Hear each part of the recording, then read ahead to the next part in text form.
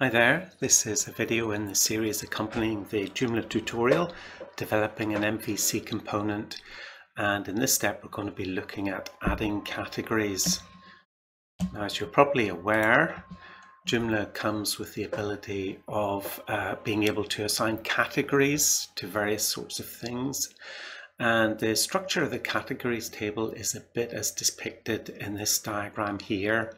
So we can define categories for articles or categories for banners or categories for different sorts of components, but they're all kind of kept separate in the categories table. And um, it's really one kind of partition of the table for each component in the uh, system there. So we could have, for example, an article category of special and a banner category of special and they've got the same name but you're going to have two different records one in the articles uh, partition and one in the banners partition. And within those partitions we can have a sort of hierarchy of um, categories so they can be structured in a hier hierarchical sort of fashion. So uh, Joomla already comes with the ability to set up categories for our Hello World component and what we're going to do in this step is we're going to use that and we're going to define our Hello World table, a link to the categories table. So we're going to um, extend our record structure so that we can have a, a cat ID which points to a category in that table. Now if we go back to the tutorial, um, as it says here, there are various strands to doing this. But to be honest, a, a lot of this is kind of more of the same of what we've been doing already. So there's not a great deal uh, which is very kind of new and, and challenging in this one. And hopefully you'll find that yourself.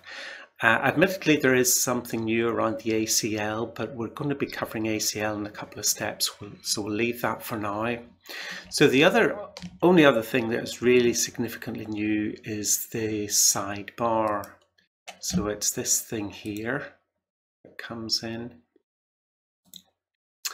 And the significant thing about this is that if you click on the categories there, you see up the top that this is running the COM categories option. So here we are actually not in COM hello sort of land, we're in COM categories land, we're running the categories component. So all of this stuff here is really coming from COM categories. And the only um, bit of our code that is running in the Hello World arena is the code that actually generates this little submenu here. And we can see that a little bit better if we go to Eclipse. Now this is Eclipse, which as um, you're probably aware is an integrated development environment, IDE. And the advantage of using an IDE is that, well, one big advantages is that you can have a debugger. And I've set it up so that Xdebug is running on our server and uh, so it enables me within Eclipse to kind of debug the code. Now getting this set up can be a bit tricky so what I might do is actually uh, put a little video tutorial on on this particular page how to debug your code um, at some point. There are a number of other kind of pages under Joomla about getting um, IDEs set up with, for the Joomla environment sort of thing. So what I've done is I have just imported my hello world uh, kind of live files. This is all the live instance files down here. Just imported that as a PHP uh, project into Eclipse. Um, and I've set uh, Xdebug on the server side of things. So it does enable me to debug the code so if I go through to here, and this is just resume, it's, it's stopped at this first line on uh, Joomla here. If I just go to resume, it'll probably prompt me to log in.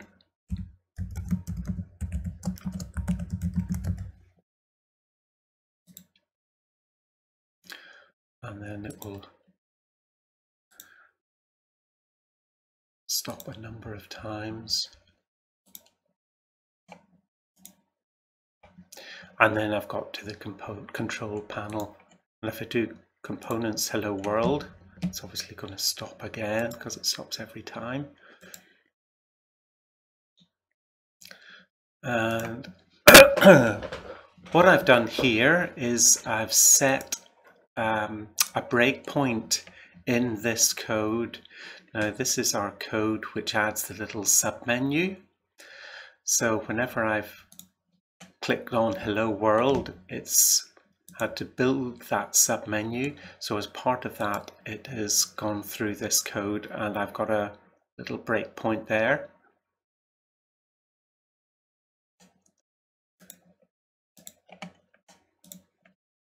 Um, and I've hit resume, so that has actually um, built that little menu. However, what happens if I go to categories and click on it? This is the start of the code. And it is broke, is, it has stopped at this line again. But if you have a look up here, you can see as it were the, the stack trace. So you can see that we're actually within com hello world helpers, hello world.php. That's our little helper file which builds the um, submenu. But where that has been called from is the com categories code. You can see that. Um, now in here we can view our variables up here. So for example, we have got submenu set to categories. So being in the debugger allows us to view the uh, variables which are in scope. And we can go and step through the code. This is step over. So I'm just going to do that and it'll go through the code. And obviously, as we go through the code and things are set up, um, we can look at those things in our variables over here. And then if we use this, which is a step return, so we will go back to the calling function and we see that we have got into categories.php and the file there is com categories. So that's where this has been called from. And if we go out again, we get back to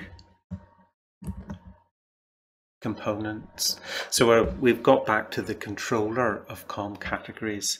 So as I say, this is really just demonstrating that um, you know that little sidebar is code is being called from the com categories component not from the hello world component when we do that click on the on the categories um, menu and that's the reason why it needs to be defined so precisely because um, we have to kind of abide by the, the standard uh, kind of rules that are in place for naming of those things within Joomla. So that's that. As I said, there's not a lot of other stuff to go through, but um, some just a couple of suggestions if you wanted to try a, a couple of extra things. If you go to components and banners, see this submenu here, and go to banners. And we've also got a sidebar here. And this little submenu here matches this here. So one of the things you might like to do is to try and set it up so that we have got a little submenu here for Hello World that matches what we get in our submenu down here messages and categories so that we should be able to go on to components hello world and do messages or categories there now you'll perhaps remember that this menu here is defined in our manifest file, our XML file. Um, so you might guess that the submenu is defined in there as well. And if you look at the banners XML file, you'll see how it's defined and you can try doing that for Hello World as well. The other thing is that if I go again to the banners side of things and do these search tools, you see select status, which selects whether it's published or unpublished, but it's also got select category. So I've put in some dummy categories here and I can select a category and then it just displays that category. So that's the other thing you might like to do is when you go into component um, hello world and into messages in our search tools, can you put another little box there for our um, to select our category. And again, if you go into com banners and look at the code there, you should be able to see it, okay?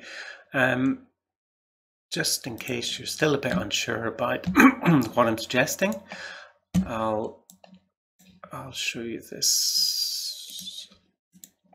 So I actually develop this um, so that you can see it. So now if we go into components, hello world, we've got that little submenu there. And that will take us to the same place, basically, as these here. And then if I click on messages, I've got an alternative for search tools, which allows me to set up the category. And then it just shows the category there. Okay, that's about it. Um, hope you find it interesting. Thanks very much for watching. Bye.